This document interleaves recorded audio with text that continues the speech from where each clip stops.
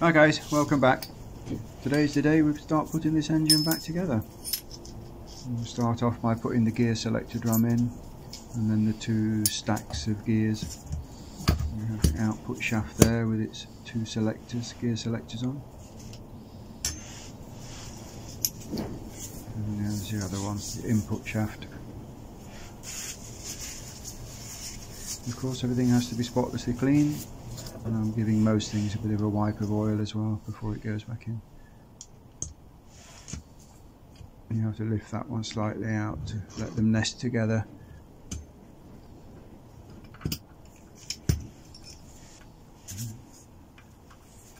And then the little pins on the selectors go into the drum. There's like some grooves around the edge of the drum for them to go into.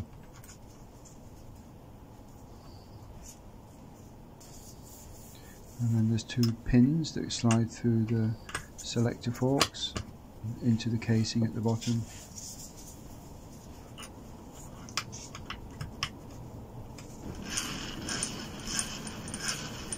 Of course I can't resist giving it a spin just to make sure it's okay, not catching on anything.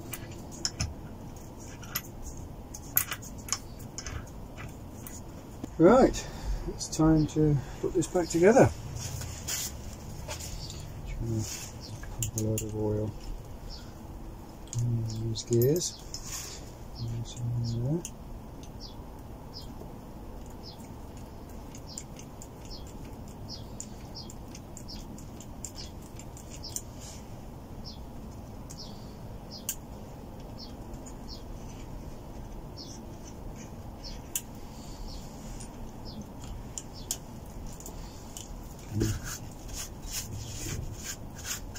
Clean any oil off this mating surface. I've already sanded it. This was in the previous video. So now it's flat. Get the glue. Now you're supposed to use uh, Honda Bond on this, but I couldn't find any of that. So I'm just using what the local boys here use from Würth. It's uh, made in Switzerland. Now you mustn't use ordinary silicone for this, it's just not good enough. It smells like silicone. I guess it is silicone. It's just a better quality one. A lot of the silicones that you can buy in the builder's merchants are actually not very good quality. That's why they're so cheap. They're full of a lot of odd fillers and things like that. Right, I'm going to cut this off as small as I can make it because you don't need very much of this stuff if you can picture this, there's there's no gap, is there? It's a machine surface against a machine surface. So when when we put this together and bolt it up, 99% of it is going to squeeze out. And obviously you don't want that squeezing out on the inside in case it breaks off and blocks these tiny oilways. I mean some of the holes for the oilways, they're less than a millimetre, so it wouldn't take much to, to block one. Right, but first I need to put the crank in. So you don't want any play this way at all, up and down.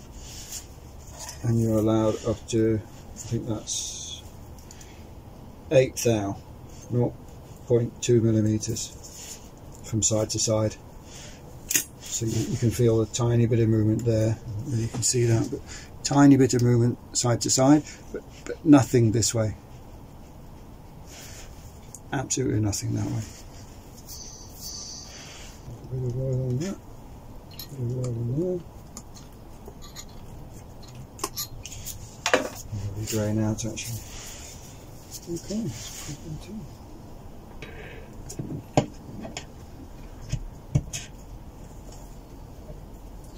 Obviously make sure the conrod is sticking out the top. Oil in there.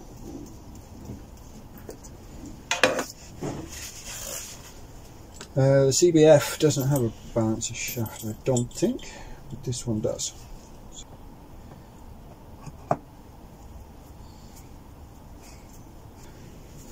Now then, where are the pins for that? Two, two roll pins.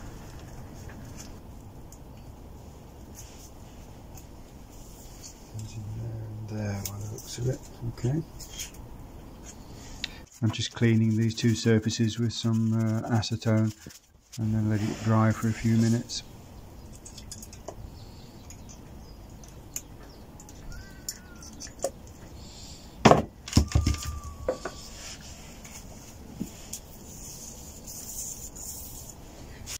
And this is just a couple of uh, close-ups for reference in case you need to pause it and check that everything is okay.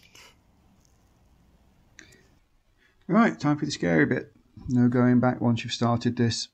So like I say, you don't need very much. So just put a very, very thin bead all the way around the edge.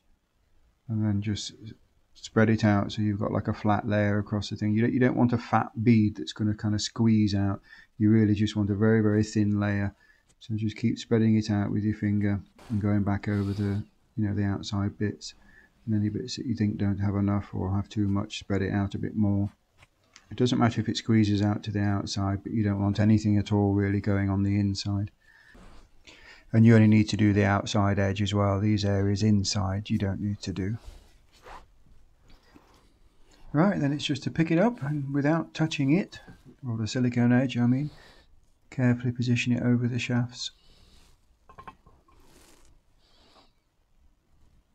This was when I realised that I got the balancer shaft in the wrong way round.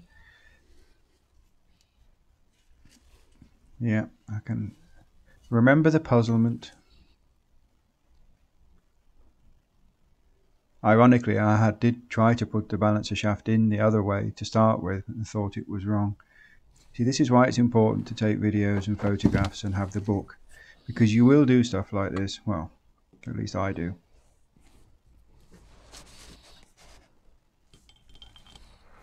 There you go.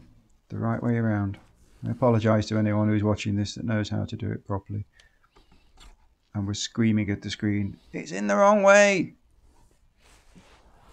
Right, try again. Fortunately, you do have a few minutes with this silicone. It's not that fast setting. Obviously, you don't have hours, but you've certainly got a few minutes. And there you go, just gently press it over because you've got rubber seals, you see, where the shafts go through the outside of the casing. So there's a little bit of resistance. And then the two locating dowels should make sure it goes clunk. And then it's the screws, and remember what I said earlier, where you have to look at how much the screw is sticking out. Uh, so you basically go around and uh, make sure that each screw is only sticking out half an inch or so. Now I did have to pause here because obviously there's one on the bottom and I wasn't quite happy with how much it was sticking out. So I just double checked that screw against one of the others and I realised that that one was slightly longer look. So I think the slightly longer one goes in the one on the other side of the casing and then it's to tighten them all up. Um, basically, you just run them down until it touches the casing to start with, working in the same sort of crisscross fashion, opposite sides. And don't forget the one at the bottom. And then I go around and just do them kind of hand tight, so that's just an extra sort of quarter of a twist on the, the tool. I'm just going to pop the nuts back on here again just so I don't lose them, and of course it protects the threads as well.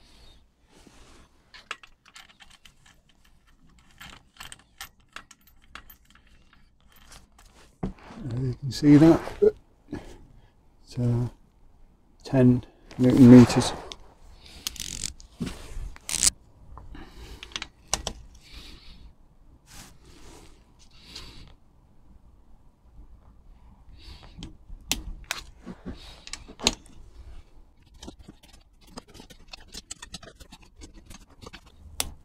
double check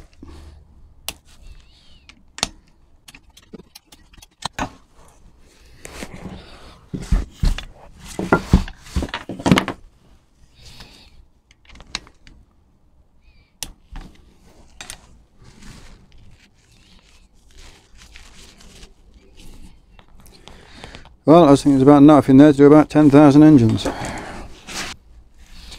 Looks good, thin line. I'll take that off with a blade after.